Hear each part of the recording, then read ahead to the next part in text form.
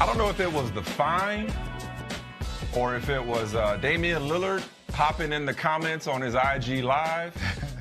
or maybe he took a refresher course in chess and realized that if you ain't a king, a queen, a bishop, a knight, or a rook, that makes you a pawn. Uh, they, the pawns are useful. That's why they're on the board. I don't know what That's it was, right. but uh, Kyrie Irving uh, broke his brief media boycott uh, earlier today. Check it out. Come on, man. Y'all got to do better than that. you got to tell me when we ain't got it. Like the, the, the 20 second timeout. 20 second timeout. I said the only thing I want off the top of the show is the Kyrie Irving sound.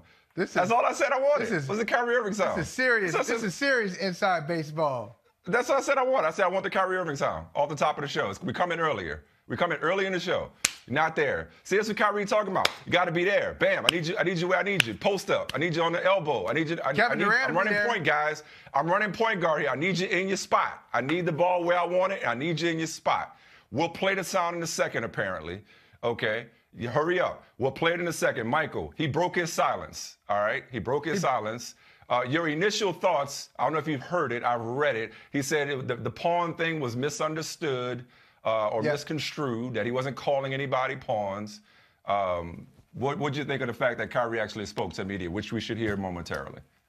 Okay, this is what I, I think about Kyrie. You remember at the beginning of the season, Mike, you said, beginning of the football season, you said Cam Newton is the most fascinating person in the NFL for you. This was way back in September, right? This is before they even played a game. yeah.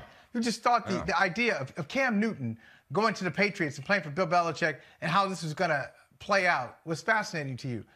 Kyrie Irving is that guy for me uh, in, in 2020, 21. And I'll tell you more after we hear the sound because we got the sound right now. Boom. We do? Eureka! Oh, we saw. I thought we had. You know.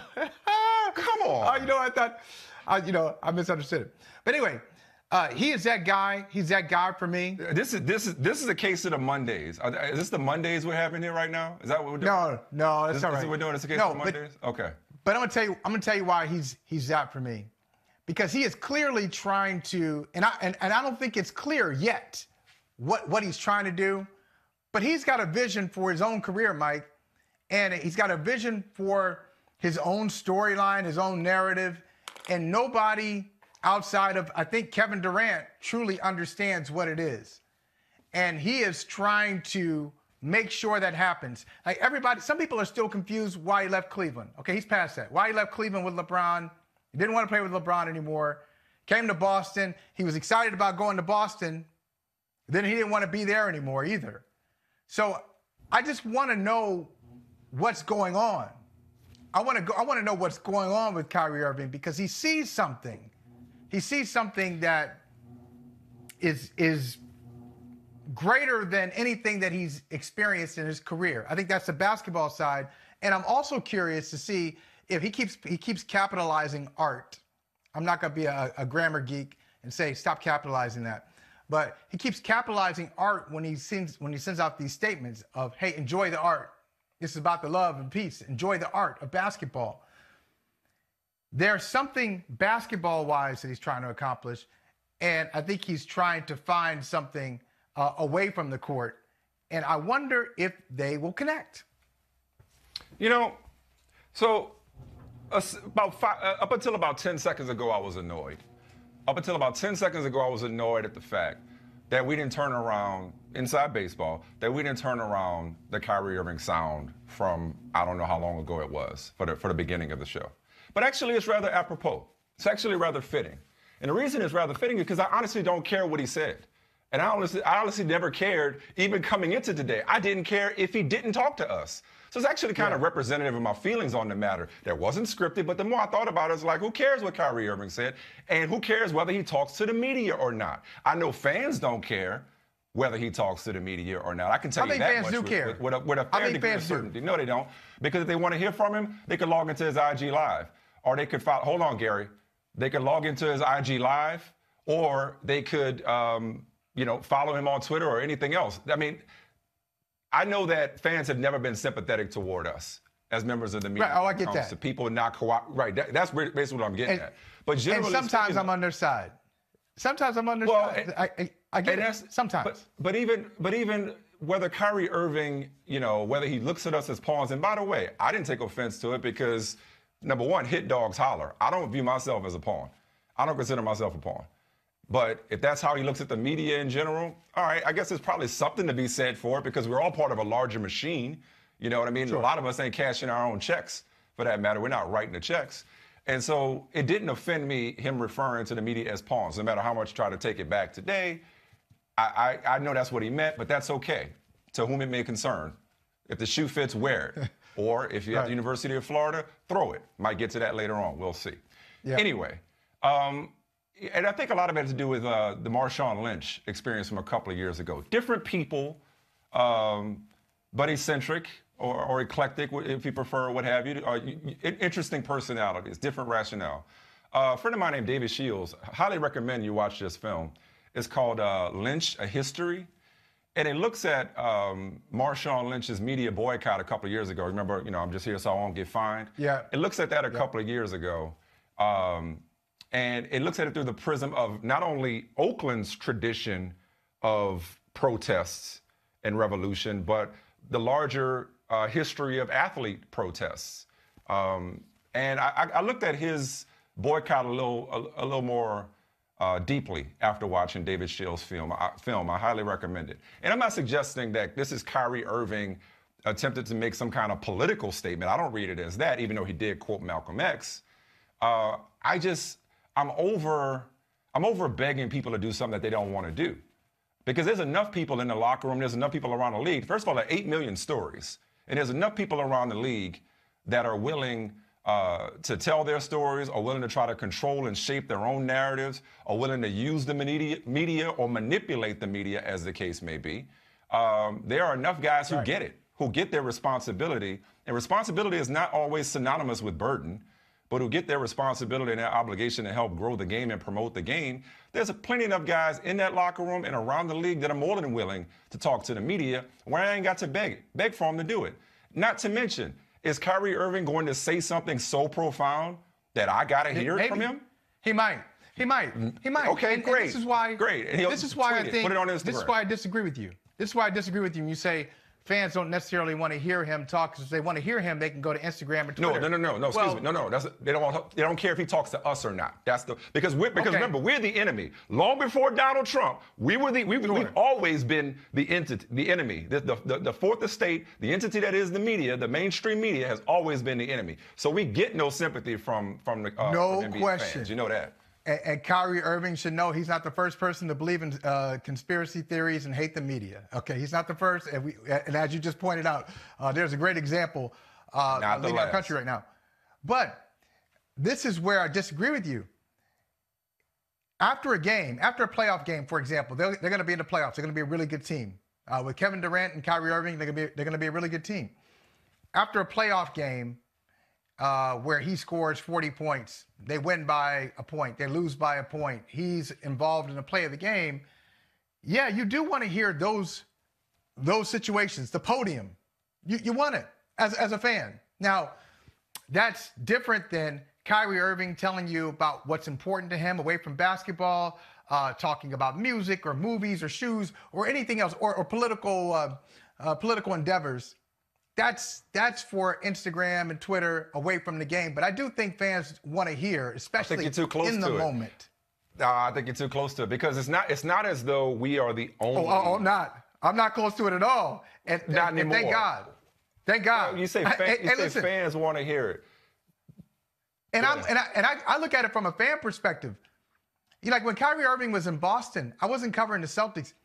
I didn't need him to talk to me. I didn't need him to do my job, but I did enjoy hearing from him. I wanted to hear his analysis of something not- that I just yeah, watched. But you're not a you're That's not me. a fan, Michael. You you, might be a fan at heart, but we, no, I mean, in a, in a truest sense, okay. Like you you you- you've been in both of us, and I, this is I'm not pointing the finger at you. Both of us been in this game too long to consider ourselves fan. We, we fans. We can't just look at things through the the prism of an a- average fan who follows him on Instagram or follows him on Twitter or, or, or follows whatever content that he puts out uh, independent of the mainstream media. You're, you're, talking about, and set aside, you know, COVID and, and the Zoom press conferences yeah. nowadays. You're talking about back in the day when they'd be at the podium and you got the media, you know, gathering and somebody would ask a crazy question and, and, it, would be a viral moment. Or somebody might ask a good question and it leads to a good answer. That process, let's just call it that process of, of working with the press is not something that I think fans are, are, are clamoring for. Yeah, it would be nice, and it often leads to some great sound bites, but it's not. It, it, it, more often than not, it leads to scrutiny of the media.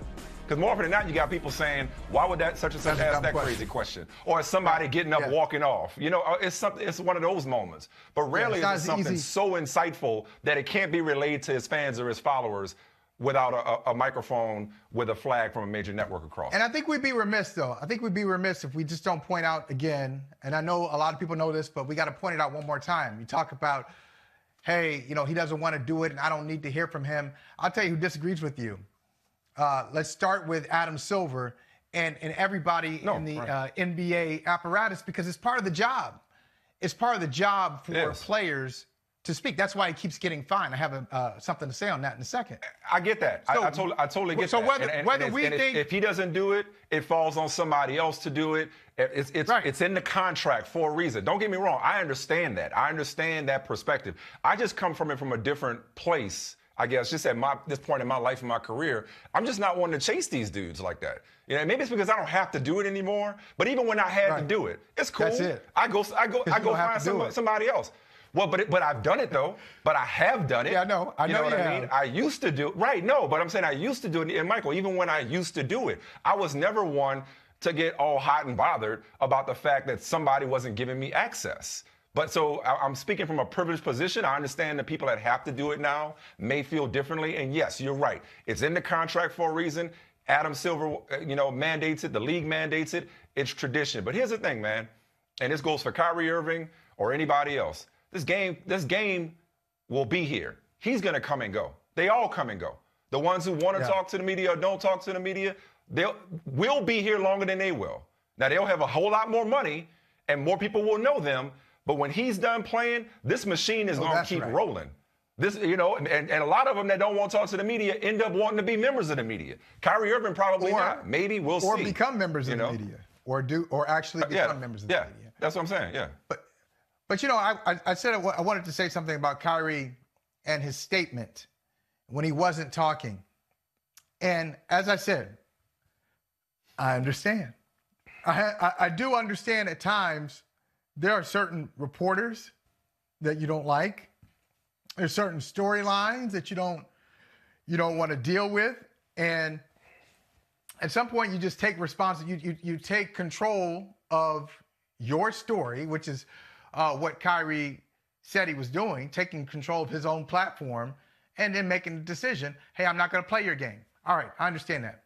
This is one thing, though, uh, and I'm, I'm going to take him at his word that he is more concerned about the vulnerabilities right now that are, that are happening to certain communities, including in Brooklyn, mm-hmm. where the unemployment rate is 16%. All right, 16% in Brooklyn, uh, and it's higher in other communities. I think the Bronx is, Bronx is like 30%. It's unbelievable. So when I say if you're going to take control of your story and you don't want to talk to the media, that's cool. But what you're doing is give you're talking about vulnerable communities, unemployment off the charts. You want to do something to help. You are giving $25,000 to the NBA and allowing the NBA to do what it feels is responsible with that money. Yeah, it goes to NBA charities, but it's not your charities. And it's not your voice. It's not your impact. You control the dollars. So what I would say, if he wanted to keep it going all season, if he really wanted to do it, I'd say, all right, don't talk to the media all year. Release your statements every time. You're going to get fined uh, uh, uh, $25,000. Uh, you direct where the money is going to go. Or you don't just give that money away. You say, you use your media availability to talk about what's important to you. That happened well, in, in the bubble, did not it? In the bubble, absolutely. Yeah. That's exactly. People, they, decided like, they were talking you about. You would ask somebody about a game. They were talking. You ask somebody about a game. and They say, absolutely. "Hey, Breonna, right?" So, yeah. I, I, if he's going to do it that way, I say just go all in. Go all in and do it and help somebody because 25 like I know you can afford it, but Yeah, it doesn't have to be either or. He could donate to NBA char- charities and do whatever he wants with, with the rest of his money. Mike, there are there are some people where twenty five thousand dollars right now could change their lives. So Right. uh, th- there's a there's an anti poverty uh, organization uh, here in Boston. Uh, Doc Rivers does some work with it. Um, I, I, I contributed something um, a couple of weeks ago, and I was blown away by one of the stats that that the amount of people in Boston who are on the verge of, of foreclosing, of, of being evicted because because of COVID. So Yeah, nationwide. that, that- that's that's not a Boston story. That's not a Boston story. That's not a that's not a story just in the state of Connecticut. That is all over. That's all over Yeah. the country. It's in every NBA city. If you're gonna But- be about it, just just But I, I'd say but take more control. I- but it's a little absolute for me. I don't, mean I, I'm not. I don't think I misunderstand what you're saying. But okay, he could still give twenty five thousand dollars to NBA charity because at the time he didn't want to talk to the media and still give to why whatever give organizations that he wants. Because his pocket that changed to him. Because his pocket changed no, to him. and if they, you know, his pocket who changed to him. But- well, no, exactly. that's my point. It's going to NBA charity. See, uh, we getting we getting too far off the deep end here. It's going. To No, no, NBA I'm not. charity. I'm not. I'm just. I'm. I'm not. I'm not trying to. I'm just going to say this. If if you are concerned, if your if your mission, if you're saying to the media, this is what he said to the media: stay focused, enjoy the art. We got bigger things to worry about right now, especially now in this time. That's what he said. That's his message. Uh-huh. You go back to his, uh-huh. his, his statement. That's it. I think I just summarized it. Uh-huh. So if that's your message, even though you can afford to just throw away $25,000 or give it to the NBA, which you're not really crazy about yeah. the NBA because you don't like the NBA policies, don't do that. Don't do that. Just come out. They're not a- mutually exclusive. They're not mutually exclusive. he can still They don't have to be mutually wants. How do you know that It's- he's not? How do you know that he's I, not I didn't say it's not. talking about? It's a, but that 25 grand is not going where he wants it to go. Is my point. That's all. It's not where he wants it to go because he's not in control of that. So if you're going to just give away money, give away money in addition to the money that you're already giving away. I'm not saying he's not, but in addition to the money that you've already given away for good causes, take the extra 25 grand. NBA, uh, you're not you're not going to hold that for me anymore. I'm going to sit here.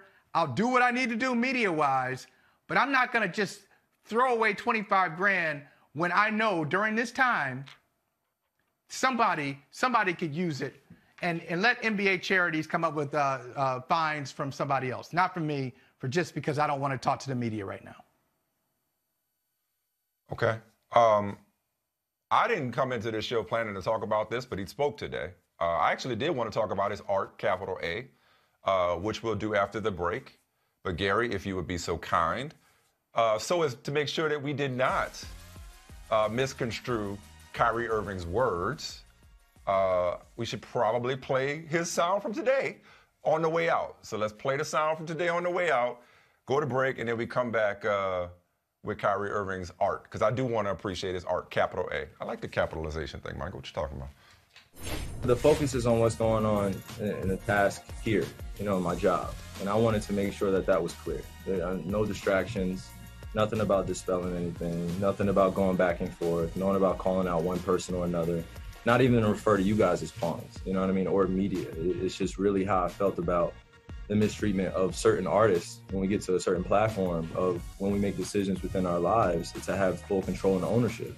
You know, we we we go through the rigorous season. We, we do everything we're asked to do, you know, and, and we want to perform in a secure and protected space. And if I can't have my voice protected on this platform where I, I offer myself and my art, just inviting everyone to it because this is what I've been blessed to do.